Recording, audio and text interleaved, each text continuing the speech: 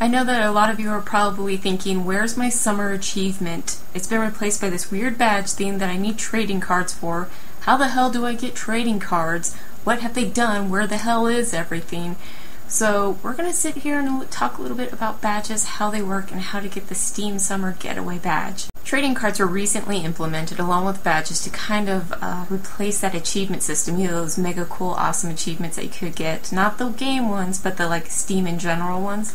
So they replaced it and they also implemented a leveling system that goes hand in hand with the trading cards and the badges. So at this point in time, there are currently five ways to get the trading cards for the Steam Summer Getaway badge. The first one is the community choice. You gotta vote on the community choice. And if you, you have to be level 5 as well. So if you're level 5 and you're making votes, for every three votes that you make, you get a trading card.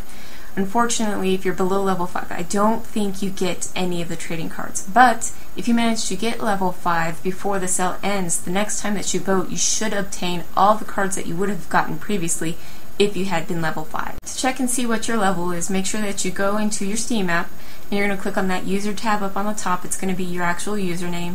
From there, there'll be a little drop down with a bunch of options. One of those options that you want to click on is profile. So that's going to open up your profile and all the nifty little things about you. And in the upper right hand corner should be your level. Moving on though to the second way that you can earn trading cards, and that is purchasing games during the sale. So for every $10 that you spend, you get one trading card. Your third option for gaining trading cards is going into the market and purchasing them.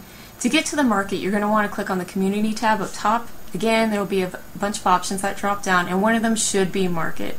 So you click in there, it opens up the market. You can easily go ahead and do a find on the card that you're looking for specifically. And currently, as of the 14th today, most of the cards are under 25 cents. So that is another way to go ahead and obtain them all. So trading is your fourth option. Sometimes you're going to get duplicate cards that have no use to you whatsoever. You already have the card. You can use these as bargaining chips with other people, your friends, or just other random people who you want to make trades with to get cards that you haven't gotten yet. And so the trading window was kind of tricky for me to find. It took me like literally 10 minutes, embarrassingly. But uh, if you want to make a trade with somebody, you're going to want to first and foremost send a message to them. So you get that message chat window going, you're messaging them, and all the way in the top right hand corner, there's a little arrow. You click on that arrow, a little drop down will, appear with a bunch of options, and one of them will be invite to trade. So once you do that, it will initiate the trade. The both of you can go into your inventories, select whatever you want to trade, drag it into the window, and go ahead and lock down that trade. Don't just rely on your friends though. You can go ahead and join the Steam Trading Cards group. From there, you can get into the chat room over there, the discussion groups, and go ahead and find other people who are looking for cards that you may, ha- may have, and they may have cards that you are looking for. And last but not least, the fifth option available to you in gaining these trading cards. So there are plenty of games right now where you can gain trading cards for just that game. And if you gain all the trading cards for that game, you can go ahead and craft a badge. And when you craft a badge, it should reward you with a Summer Steam Sale trading card. To check the progress of your Summer Getaway badge, you can go ahead and go up to the top and look for the User tab, which is going to be your username. And in the options, you're going to click on Badges. And from there, you're going to click on the Steam Summer Sale badge. And when you click into that, you can see all the cards that you already have, the quantity of each card that you have, because again, you're going to get duplicates. You can also see some of the cards that your friends have. Now, once you've collected all the trading cards for the Steam Summer Getaway badge, you can combine them all together, create the badge, and bask in the glory of finally finishing that badge.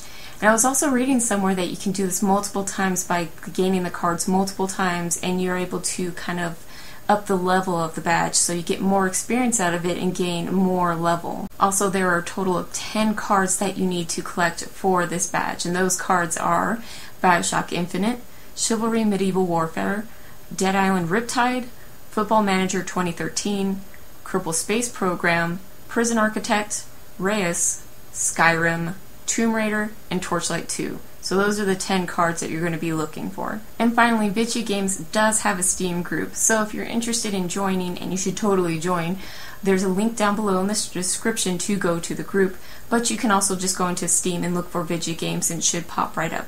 Join the group though because I do have a discussion currently going where you can go in there and say, you know, I have these cards, do you have these cards? And maybe as a group of Vidja Gamers, we can help each other get this badge. So hopefully you found this video extremely helpful because I know that the trading card system, the badge system, the leveling system can be very, very confusing.